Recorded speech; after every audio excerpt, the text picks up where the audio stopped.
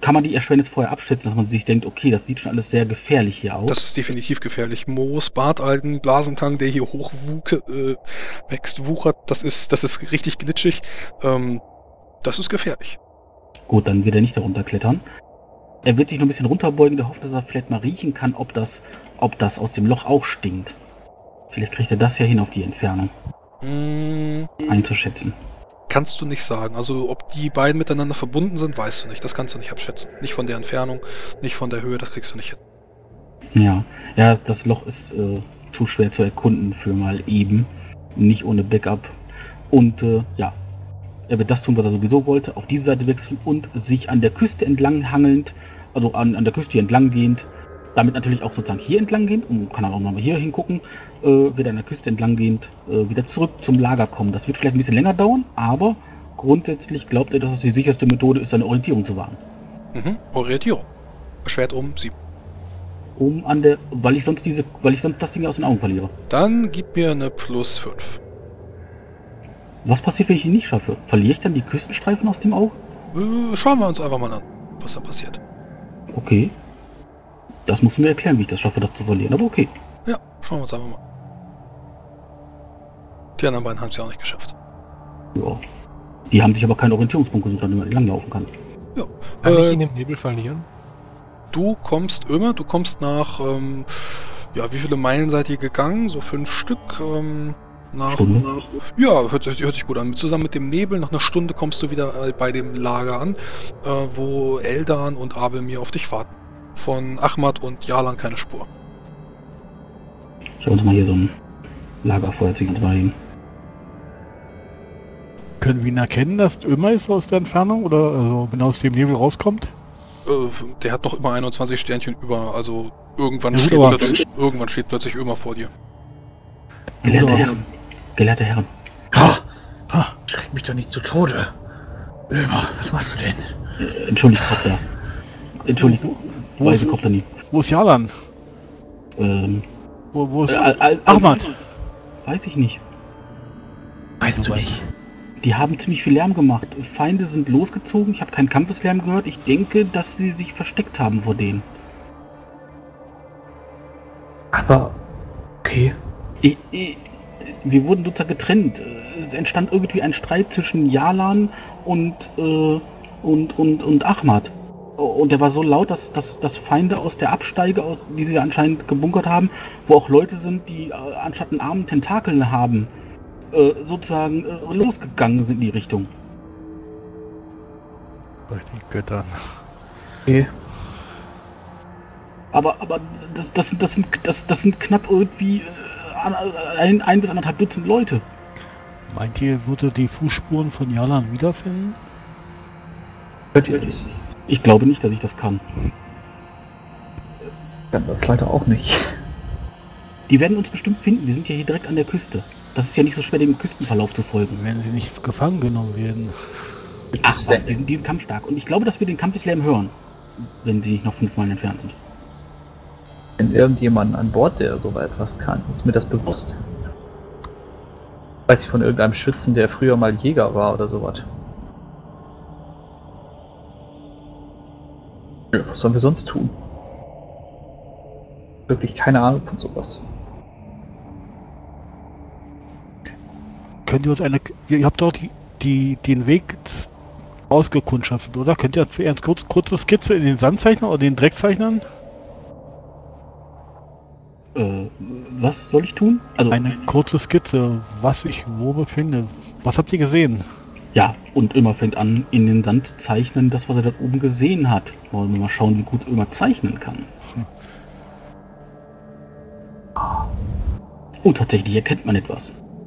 Also das hier ist das Haus, was ich für eine Absteige gehalten habe. Zeigt das Zeichen des sandierenden Haus, äh, das äh, seht ihr. Da waren, ich denke, so 14 Personen drin, könnte ungefähr sein. Davon sind aber ein paar Leute losgelaufen äh, Richtung Jalan und so. Hier, dieses Haus scheint so eine kleine Verschlag zu sein, Kaschemme, kann ich nicht genau beurteilen. Und das hier ist ein Tempel und äh, ich glaube, der ist entweiht oder so etwas. Das war früher mal ein Tempel. Ähm, da sind auf jeden Fall auch, da ist auf jeden Fall dieser eine Typ drin, also sind zwei unheimliche Typen drin und der eine hat, ist so komplett irgendwie so in Tüchern eingeschlagen Und der andere, der, der zeichnet sich dadurch aus, dass er eben so einen Tentakel anstatt einen Arm hat. Ähm, dann haben wir hier vorne ein Loch, das ist aber ziemlich schwer dahin zu klettern. Das sind äh, über 20 Schritt tief. Das ist ziemlich glitschig. Also das ist wirklich richtig gefährlich, darunter zu klettern. Das ist nicht zu vergleichen mit dieser harmlosen Wand, die wir hier eben erklettert haben. Und äh, da ist eben die Sache, das könnte ein Zugang sein hierzu, zu diesem vulkanähnlichen Ding, was komische Zeichen drin hat. Ähm, ja, so ähnlich wie Tempelzeichen manchmal drin haben, die ich nicht so kenne. Das sind aber Zeichen, die ich noch nie gesehen habe. Ähm, ja. Äh, Der, der Pfad, der da hochführt, ist auf jeden Fall sehr schmal. Das heißt, da könnten uns Leute locker aufhalten, weil da nur einer, also an manchen Stellen ist der Pfad so, so, so schmal, dass da eben nur einer entlang gehen kann. Die Spalte hier, da weiß ich nicht, ob die mit uns verbunden ist. Das scheint mir nicht so. Da kommt kein bestialischer Gestank her. Denn aus diesem Ding, aus diesem Vulkan oder was auch immer das ist, da kommt ein bestialischer Gestank her von Unwasser und Tod und äh, Verwesung und äh, richtig widerlich. Wisst ihr, es gab mal ein Kundchen, irgendwann ist mal eine Wasserleiche angeschwemmt worden oder sowas war das. Da habe ich auch mal dran gerochen. Ah, so ähnlich riecht das. Nur noch ein bisschen schlimmer und mit anderen Dingen vermischt. Aber das könnte vielleicht theoretisch der. Aber mir wisst ihr, ob dieser Splitter einen Geruch von sich abgibt? Nein, das weiß ich nicht, aber ich könnte mir gut vorstellen, dass dieses Unheiligtum dieser Kegel darstellt. Bestimmt. Unmöglich. Also wir könnten entweder versuchen, den Berg hinauf dann zu laufen, was ziemlich schwer wird, oder wir könnten versuchen, irgendwie dieses Loch zu erklettern. Ähm, ich würde mir das zutrauen, davor zu klettern und dann irgendwie das Seil unten festzumachen. Runter kommen sie alle, aber über 20 Schritt tief fallen, das ist schon gefährlich. Ich und äh, nichts gegen euch, Adeptus Mario, aber mir, aber ich glaube, wir beide sind dafür eher ungeeignet, wenn ich gesehen habe, wie wir hier gerade eben hochgeklettert sind. ja, ich fürchte auch. Aber diesen Weg können wir locker klimmen. Es scheint ja, ja zwar, zwar nicht allzu breit, aber zwei Schritt breiter sollten wir selbst diesen Pfad sollten wir nehmen können. Aber ist die Frage, was wollen wir in diesem Unheiligtum? Wir wollen auch den Splitter abholen. Möglichkeit, dass der Splitter vielleicht schon im Unheiligtum ist, sollten wir nicht ausschließen, obwohl. Dann werden hier mehr Wachen, oder? Ja, aber in der Nachricht stand ja ausdrücklich, dass der Splitter so unbewacht ist wie nie. Das könnte natürlich theoretisch jetzt der Fall sein. Hättet ihr denn in der Lage, immer da unten hereinzuklettern und euch das im Inneren anzuschauen, oder haltet ihr es für sehr wahrscheinlich, dass ihr dann entdeckt werdet?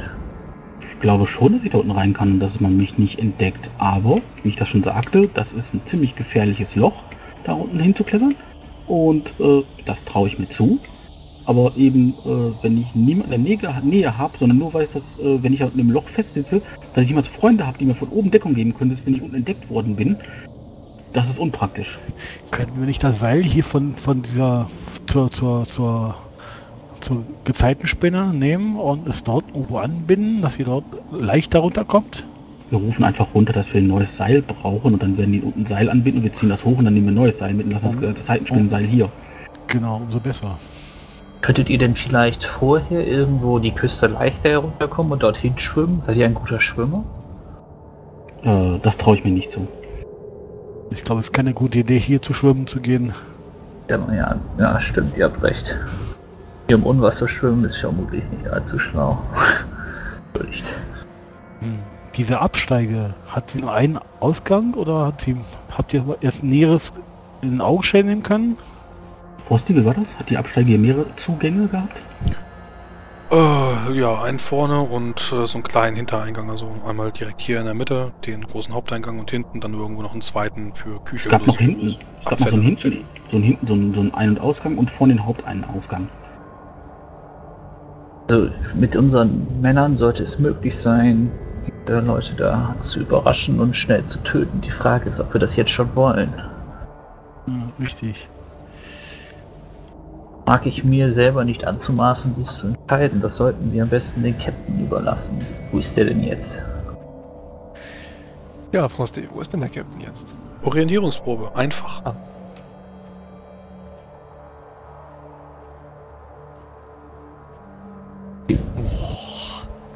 Mein Plan ist jetzt einfach, ich gehe zu einem der Schützen hin und frage sie, äh, Männer, Männer, war einer von euch mal Jäger oder hat Ahnung von sowas? Ja, dann die Frage an euch. Ihr verliert euch direkt im Nebel und seid euch überhaupt nicht sicher, wo vorne, wo hinten ist. Und dann stoßt ihr wieder auf die Küstenlinie. Körperbeherrschungsprobe. Erschwert um sieben. Sonst stürzt ihr die Klippen runter. Und zwar ihr beide. Aktuell habt ihr beide wieder eure Rüstung angezogen. Ja, ich habe zum Glück nur die Leichte. Das ist zum Glück ein Mirakeltalent. Ich bleibe auch stehen. Ja, dann äh, Hm. brecht ihr gerade die Küstenlinie runter. Äh, ja, wie gesagt, hier geht es steil bergab, äh, 20 Meter in die Tiefe. Vielleicht zerschallt ihr auf den Felsen.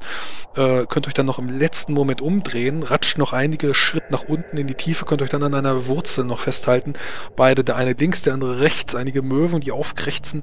Ihr bekommt beide 3W6 äh, Ausdauerschaden. Ohne oder geht's direkt gegen Schaden? Äh, direkt. Also neun halbe sind fünf und zwölf halbe sind sechs und äh, steht dann jetzt wieder an der Küstenlinie. Hier könnt ihr euch endlich wieder orientieren, könnt euch an der Wurzel nach oben ziehen. Jetzt müsstet ihr eben noch wissen, ob ihr links oder rechts lang geht. Ach, Hilft ich das mach- Rüstung gegen diesen Sharpschaden? Nein. Habe ich gerade gefragt. Achso. Gut, Ahmad, ich gehe nach links, ihr geht nach rechts. Wenn einer von uns das Lager findet, kommt er zurück und holt den anderen. Ich lasse euch hier nicht alleine. Allen zwölf Göttern, ich habe nicht die Zeit für sowas. Dann kommt halt mit. Und ich gehe nach links. Nach links. Und denke, Nach, denke ganz kurz daran, in die Klippe runterzustoßen. nach fünf Minuten äh, könnt ihr dann äh, wieder einige Stimmen hören, die sich leise unterhalten und äh, trefft dann auf Elgan Gorbas, Abelmir und auch Ömer. Da seid ihr endlich. Was habt ihr denn schon wieder gemacht? Ömer ist schon ewig hier. Seine Gnaden hier hält Subtilität, nicht für die angebrachte Vorgehensweise. Jalan, hier, äh, tretet nicht auf das Sandbild. Hier habe ich den, den, den Außenposten, den sie dort äh, haben, eingezeichnet. Ah, Ich erkläre euch alles. Äh, es tut mir leid, ihr wart so laut, da kamen Leute hinter euch her. Ich weiß nicht, ich Deswegen habe haben kein... wir uns dann auch zurückgezogen. Okay, äh, es tut mir leid, ich konnte nicht mehr tun, als den Ort aus- auskundschaften und danach wieder hierhin zurückkommen. Ihr habt eure Aufgabe erledigt, mehr brauchen wir doch nicht. Ja, und ich erzähle nochmal, was ich jetzt gerade den anderen erzählt habe mit der Absteige, dem Tempel, dem Typen mit dem äh, Arschat-Arm und Dings und dem der Spalte und dem Loch und dem äh, Vulkan und dem Gestank. Gut. Sehen wir zu, dass wir hier runterkommen. Erst einmal. Wir können aus dem Schiff weiter planen.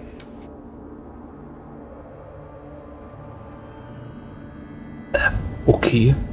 Aber wenn wir hier nochmal hoch. Also, also ganz kurz, OT, willst du wirklich, dass die Magier hier nochmal hochklettern? Wir bleiben dann Wollte halt unten. Genau wie du. Kannst du gerne versuchen. Äh, okay, aber ich bin mir nicht sicher, ob Abelmir und ich hier heute nochmal hochklettern können. Warum wollen wir nicht, können wir uns nicht unterhalten und leise unterhalten? Sollte doch kein Problem sein, oder? Na gut. Ihr da, Kundschafter. Elysia, Elysia wird wieder vor euren Augen sichtbar und äh, sieht so ein bisschen gelangweilt aus, popelt sich in der Nase. Naja, wir können auch einfach sonst hier oben bleiben und holen die anderen hoch. Nach und nach. Bauen hier ein kleines Lager auf, mit dem man vielleicht so ein bisschen mobil ist und kann von hier aus dann bis morgen warten. Was auch immer Gut. morgen passiert. Wir planen das kurz. Kundschafter, ich will rundum Augen haben, dass sich bloß niemand anschleicht. Der Rest um die Skizze. Jawohl, Also, Kapitän.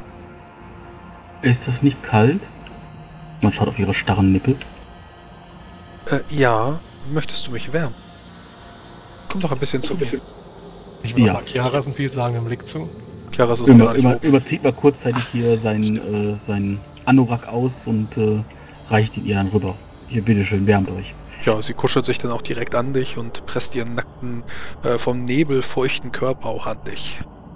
Tja, immer reibt ihr so ein bisschen über den Rücken, währenddessen er guckt, dass dann der möglichst größte Teil zwischen ihr und äh, der Jacke irgendwie ist. Gut, also das hier ist der Tempel, ja? Äh, Die Schützen geben dann den Befehl an die anderen, äh, dass man ein Lager hier oben aufschlägt, oder wie ist es? Erst einmal stellen sie sich auf und gucken sich um. Ja, gut. Und wir entscheiden, ob wir jetzt überhaupt ein Lager aufschlagen. Das sollte ja nicht länger als eine Viertelstunde dauern. Also macht ihr das Danke. mit oder ohne Chiaras? Ja, Äh, Kapitän, lass doch bitte die Kleidung von Elysia hier hochbringen. Oder zumindest ein paar Decken, wenn sie schon nicht in Kleidung laufen will. Dann kommen zwei weitere, drei weitere Schützen nach oben, die dann nach und nach klettern. Die Befehle werden weitergegeben, weitere Positionen, die dann in einiger Entfernung aufgestellt werden, damit man eben nicht überrascht wird. Weiteres Ähm, Holz, was nach, weiteres Holz, was nach oben gebracht wird, um das Lagerfeuer, so klein wie es auch eben auch ist, dann auszubauen. Man kann dann natürlich sich tief in die Erde graben, damit das Feuer eben nur warm ist, aber nicht hell. Und äh, auch Keras wird weitergegeben, dass man dort oben eben ein Lager aufschlägt. Was möchtest du tun? Na gut, wenn sie jetzt da oben anscheinend bleiben wollen, dann gehe ich auch hinauf. verteile noch Befehle, dass äh, was an Bord gemacht werden soll, weil irgendwie alle befehlshabenden Offiziere jetzt nach oben geklettert sind. Nicht alle. Du hast ja auch Oberst den noch Oberst. Ja, Kletternprobe. Ja, aber den kann man nicht vertrauen. Kletternprobe erschwert um vier Punkte. Ich möchte ihm aushelfen. Du bist mit der Skizze beschäftigt. Wenn die, Ja, Nicht, Leute, nicht, wenn wir ihn erst holen. Wenn die Leute uns plötzlich auf mysteriöse Art und Weise wieder hören, dann würde ich da und runterrufen, dass sie mir gefälligst meine Armpanzer wieder hoch. Ja, der ist verschwunden. Niemand weiß, wo der ist und äh, auch von äh, Hilal fehlt jede Spur. Mir ist zu kalt, ich lasse das mit dem Klettern. Ja, dann bekommst du 2w6 äh, Schadenspunkte. Beziehungsweise dann die Hälfte. Das sind vier echte. Und du bleibst dann unten? Oder wie? Ja, ich komme da offensichtlich nicht hoch. Müsst euch da nicht festhalten. Weiter links. Ich gebe ein einem der. Schützen eine verdammte Strickleiter mit. Ich hoffe, wir haben eine Strickleiter, oder? Ihr habt keine gekauft. Ich schau nach. Wir sind auf dem Schiff und haben keine Strickleiter. Das ist kein Schiff. Ich würde mal jetzt mal so leise Tipps herunterrufen, die ich, wo ich selber mich schon aufs Maul gelegt habe, dass er das nicht auch macht. Ich weiß nicht, ob ihm das was bringt, aber Wir haben mal. keine Strickleiter, wir haben aber Takelage. Immer flirtet derweil ein wenig mit Elysia. Würfel gerne mal betören. Ja, äh, also er glaubt nicht, dass jetzt hier was passiert, aber vielleicht auf dem Schiff mal irgendwann wieder, wenn sie Zeit und Lust hat. Und dann muss man sich jetzt hier ehrenmannhaft verhalten. Ja. Einfach Komplimente machen. Hast, hast du Schaden bekommen im Verlaufe der letzten paar Tage? Nein. Okay, sie klaut dir deine Regeneration.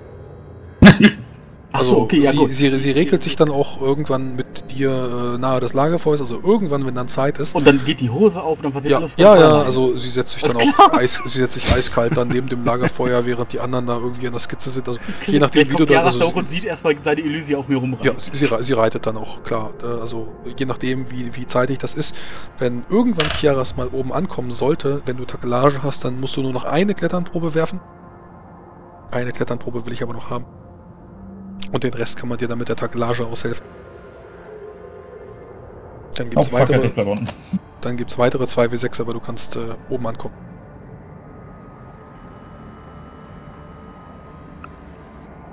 Genau, sieben halbe sind vier echte.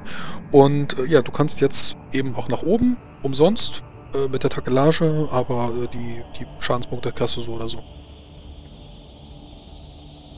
Ah, großartig. Super, großartig. Na toll. Karin, oder seid Warum machen wir während, du dein, während du deinen Kopf äh, aufgeschürft dann nach oben streckst, äh, siehst du dann, wie die äh, Hand von Jalan dir entgegenkommt, dir hilft, kannst du auch erkennen, wie gerade Ömer da mit äh, Elysia herummacht und äh, sie sich wild äh, küssen, ab, abknutschen.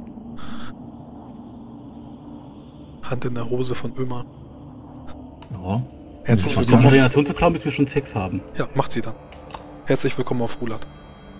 What the fuck, Alter. Also wird, sie, wird sie dann, Wenn sie äh, Spaß wenn, wenn irgendwann mir sowas abgibt. Wenn ihr irgendwann schlaft, dann wird sie das tun. Beziehungsweise, wenn, also irgendwann im Laufe des Abends, wenn Zeit ist. Ja, jetzt Ja, könnt ihr euch besprechen. Hier ist die Karte. Augen hier unten. Ich Also. hab den nicht. Ähm, ja. Ich gucke auf die Karte. Also, das hier ist der Tempel, richtig? Ja. Scheint so. Also, Irma ist jetzt gerade beschäftigt, aber ich erkläre mal, was er erklärt hat. Hier unten ist irgendwo ein kleiner Spalt. Irma meinte, man könnte da wohl durchgehen. Aber die, dahin zu klettern scheint sehr schwierig zu sein. Selbst für jemanden, der so gut klettern kann wie er. Ich weiß nicht, ob wir irgendwelche besonders guten Kletterer in der Mannschaft, denen man das zutrauen könnte. Ich fürchte nicht. Wie hoch ist die Klippe? 20 Meter. Gut. Wir gehen zurück, wir nehmen die äh, Perlenwacht, wir lassen die Perlenwacht hier hochklettern, zertrampeln da alles, vernichten alles und holen uns den Splitter fertig. Erstens, Carino, die Klippe ist 20 Meter hoch, da kommen wir mit der Perlenwacht nicht hoch. Das sollte Zweitens, auch Carino, schaffen. ist heute der fünfte Bereit. Der Splitter ist noch nicht hier. Also, mit unseren Truppen könnten wir mit Sicherheit die Leute vor Ort töten. Die Frage ist nur, ob wir das schon wollen. Eine Also Stelle aus- nicht hier, also was machen wollen wir dann hier? Die Flotte, die wir hier aufgeklärt haben, liegt die direkt vor dem Kaff vor Hanka, so ein bisschen offscreen oder ist die weiter weg? Ähm, ich muss gerade mal schauen. Also du hast jetzt hier irgendwo deinen Tempel und Mhm. ungefähr äh, der Pfad, den hatte Ömer auch ausgekundschaftet, geht dann irgendwann nach zwei, drei Kilometern ähm, vom Landesinneren, geht er dann weiter nach unten und du kannst es dir dann auf dieser kleinen Übersichtskarte, kannst du es dir angucken. Hier ist, äh, hier ist die, äh, ja, hier ist diese Speerspitze, dieses Sanktum von Charybdorot und hier in dieser Gegend liegen dann ganz, ganz viele Schiffe. Also so Entfernung, ich muss gerade nochmal ins Abenteuer gucken, ungefähr fünf Meilen. Ja gut, das ist keine Entfernung, auf die man einen Kampf noch hört. Nee. Ihr habt recht, das könnten wir tun. Wir bringen jeden, der klettern kann, hier hoch. Unter Umständen mit Hilfe der Perlenwacht, wenn wir irgendwo eine flachere Stelle finden. Greifen das Dorf an, setzen uns in die Aufsteige, warten auf Xeran, nehmen den Splitter ab. Könnte gehen. Das Problem ist, was tun wir, wenn er den Splitter direkt zu diesem, zu diesem Spalt hier bringt und man von dort ins Insanktum gelangen, gelangen kann? Also. Grundsätzlich glaube ich, ist es nicht schlecht, wenn wir die vor die Truppen vor Ort schon ausschalten. Das gibt uns bessere Möglichkeiten für den Hinterhalt. Und auf fünf Meilen werden sie vermutlich das den Kampflärm nicht hören. Schnell und hart zuschlagen. Vielleicht mit Bogenschützen. Das auf jeden Fall. Wir bewegen uns ran, decken sie mit Feuer ein. Und ihr seht zu, dass auf keinen Fall irgendeine Brieftaube rauskommt. Bin ich in der Lage, was gegen magische Brieftauben zu tun? Hat die Magie? Ist der Ignifaxius? Ignifaxus, Bewegung stören, Pentagramma, Okay. Dämonenbann. Und werden sie Lichtzeichen geben? Dann müssen wir Das kann sein nicht aufhalten.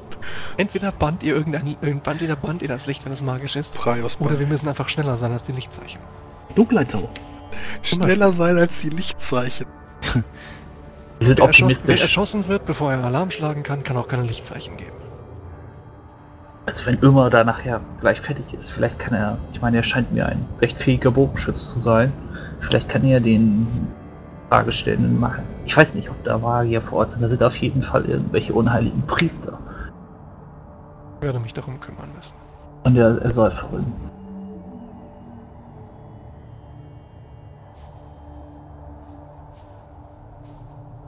So.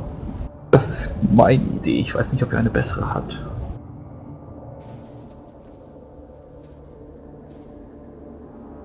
Hart schnell Und zuschlagen. die andere Idee wäre halt, in etwa einer Meile Entfernung mit der Perlenwacht auf, auf der Lauer zu liegen und erst heranzustürmen.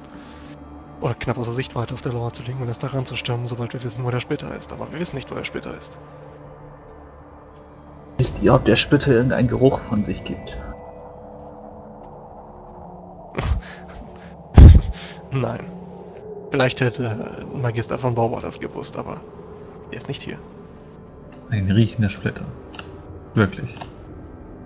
Ein dämonisches Artefakt. Es würde mich nicht wundern, wenn es äh, nach Wasser oder ähnlichem riecht.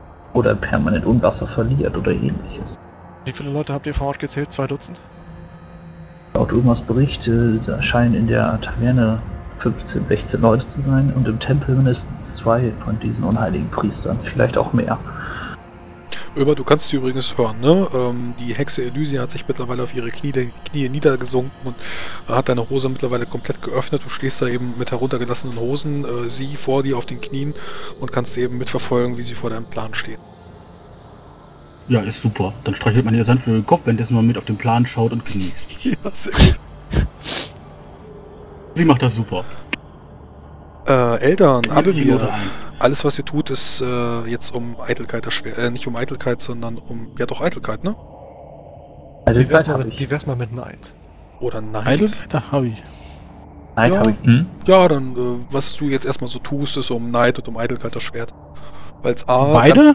Ja, weil gerade A, äh, er hat da eine, eine hübsche Frau, obwohl er komplett hässlich ist und ein stinkender Bettler und B, äh, naja, es ist komplett widerlich, was die beiden tun. Also deine Eitelkeit triggert da auch. Ich habe eine Frage zu meinem Nachteil. Also ich habe auch Neid. Ja. Ich wollte auch vorhin schon drauf würfeln, aber ich habe halt überlegt, wie das mit 40 Entrückung aussieht. ja, weiß ich nicht. Also, Entrückung hat keine Interaktion mit Nachteilen. Nicht? Nicht soweit ich weiß, nein. Guck nochmal nach, aber ja, kann gut sein. Vielleicht auch deine Reaktion darauf. Verhalte ich halt Rondra gefällig. Was denn halt von der Klippe? Ja, ja, die führen da gerade einen ehrenhaften Zweikampf durch und wenn sie fertig sind, bin ich dran. Ach, ich fordere euch zu zwei Fordere ihn Kämpfen. heraus. Ich ziehe sie einfach ein bisschen, dann ist sie auf alle Viere beim Blasen und dann hast du doch hinten Platz. Also äh, alternativ kannst du sie halt auch wegschubsen, Ahmad, und kannst dann selbst bei immer, äh, immer rangehen. Ja, warum nicht, ne? Lass dir nicht aufhalten. Nein, ich lasse die erstmal den ehrenhaften Zweikampf beenden und dann versuche ich es ganz runtergefällig. Äh, wie sieht das Aber aus ich mit bin auf jeden? Fall. Äh, Chiaras, hast du irgendwelche Nachteile? Ja, aber das juckt mich absolut nicht. Warum sollte es? Ich meine, ich re besuche regelmäßig den Raya-Tempel. Ist dies wirklich der richtige Ort und die richtige Zeit, um, um dem Raya-Spiel nachzugehen? Frage ich. Oh, ja, so, ja, ja, so viel Zunge. Mm, mm, Ich bin gerade eher genervt, dass die alle hier anscheinend den La Ernst der Lage nicht äh, kapieren und die alle verrecken werden und ich bin von Idioten umgeben. Hey, ich bin auch noch da. Ja, ich sag ja, ich bin von Idioten umgeben. Ich komm dir gleich darüber. Könnt ihr jetzt mal bitte euch konzentrieren? Bei Praios, verdammt. Du merkst, wie, wie er dann mitten im Satz anfängt zu wirken. Wenn wir planen, irgendetwas zu tun, dann müssen wir die Leute hier ausschalten. Wenn wir nicht planen, die Leute hier zu äh, auszuschalten und eine Falle zu stellen, dann hat es auch keinen Sinn, dass wir hier bleiben. Dann sollten wir versuchen, eine Splitter abzufahren. Richtig. Gut. Wir schleichen uns an. Schalten aus der Entfernung, die Wache stehen hinaus, stürmen das Dorf, verbarrikadieren die Taverne. Jemand geht in den Tempel, Ahmad zum Beispiel, tötet die beiden Paktierer. Und dann machen wir die Tür zu- zur Taverne auf und hacken jeden nieder, bevor sie rausgehen und ein Lichtzeichen geben können. Habe ich was vergessen? Ihr habt den falschen Plan ein wenig falsch aufgegriffen. Wir werden dort natürlich Rondra gefällig einmarschieren und jeden Paktierer und jeden Diener ausschalten. Genau das sagte ich doch. Da die Paktierer im Tempel sind, ist das eure Aufgabe. Da wir aber nicht wollen, dass gleichzeitig alle Leute durch die Gegend rennen und uns um die Ohren schwirren, Dann führe ich wir den Sturm. Dann können wir auch gleich mit unserem Chef Ahmad, hört mir gut zu. gegen die Wenn ihr diese Sache versaut, ich schwöre euch, ich stoße euch höchstpersönlich von dieser Klippe. Ja, du siehst dir Ahmad an und siehst, dass er nur einen sehr verklärten Blick hat und scheinbar ganz woanders ist. Wir haben uns wie ehrenhafte Leute duelliert. Die Sache ist geklärt. Lasst es endlich ruhen. Also, wie gesagt, der verklärte Blick bleibt weiterhin bestehen. Und er schaut äh, dich gar nicht richtig an.